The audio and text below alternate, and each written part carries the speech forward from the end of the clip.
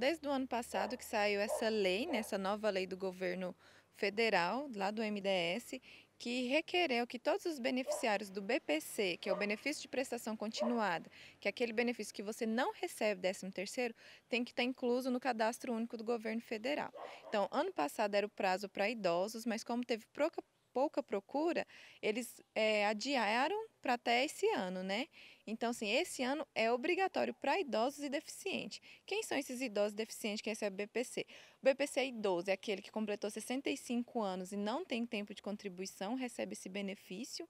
E o deficiente que tem algum tipo de deficiência que não contribui com o INSS e essa deficiência incapacita ele de trabalhar. Ele também recebe esse benefício.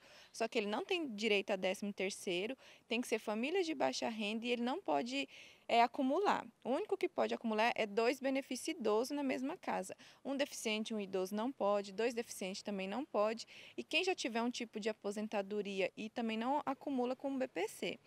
E também esse tem que estar tá todo mundo dentro do cadastro único, que é essa nova lei do governo federal. A gente quer deixar bem claro que não somos nós do CRAS, não é o pessoal do cadastro único que está exigindo isso. É uma lei do governo federal, a gente só está cumprindo e chamando esses beneficiários para estar tá vindo recadastrar. Então, assim, quem ainda não cadastrou no cadastro único aqui no CRAS com a Regina, tem até dezembro deste ano para cadastrar no cadastro único.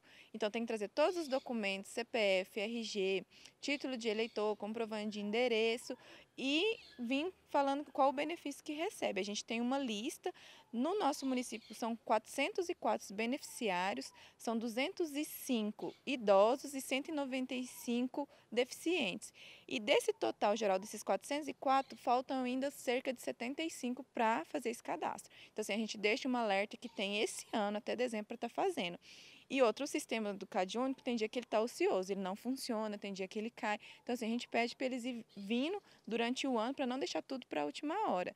E quem não fazer esse recadastramento vai ser cortado. E assim, não é a gente que vai cortar, não é o CRAS, não é a prefeitura, é o governo federal, que é quem é, faz esse benefício, né? Quem fiscaliza esse benefício. Então, assim, o pessoal que ainda não procurou, vem até o CRAS, procura a Regina, faça esse cadastro, porque se não fizer, é perigoso cortar sim. E tem que estar tudo de acordo com que é o benefício, né? Tem que ter a renda X, não pode ultrapassar, não pode ter mais benefícios dentro do mesmo, da mesma casa, né? E a gente pede para o pessoal estar tá vindo. Onde que os beneficiários devem procurar e quais são os documentos necessários para realizar o cadastro? Então, eles devem estar procurando aqui no CRAS, né? Tanto de manhã quanto à tarde, a Regina vai estar atendendo. A Regina é responsável por esse cadastro, que ele é um sistema onde ela tem acesso, tem senha e ela entra e cadastra esses beneficiários.